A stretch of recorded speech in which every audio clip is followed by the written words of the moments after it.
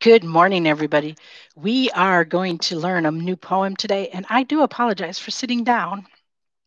However, I forgot to charge my headset the entire Thanksgiving break, so it's dead. It has to stay plugged in, or you won't be able to hear me.